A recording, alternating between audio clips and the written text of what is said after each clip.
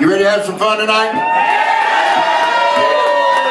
Well, I don't believe in the scenario of too much fun. I believe we all ought to have more fun we've been having. They say I'm having too much fun all the time, even now at 67. I say compared to what? We're all going to have some fun tonight. And uh, over here is my oldest friend and dearest friend in life, Mr. Rickety. Ricochet Willis. Been together since the ninth grade. Sammy B. Seauphine right there from New Orleans. She's our background singer. She's got her own band. She sings recordings. Back there on the drums, my favorite, that's John, my Johnny. He's just, he's a native son of Iowa. He was the brother of Mr. Tommy Bolin, a legend.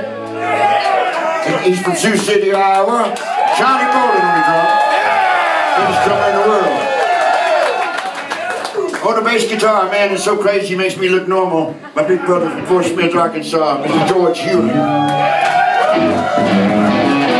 And over here, the ultimate, our lead guitar player, that's the Tommy shirt too.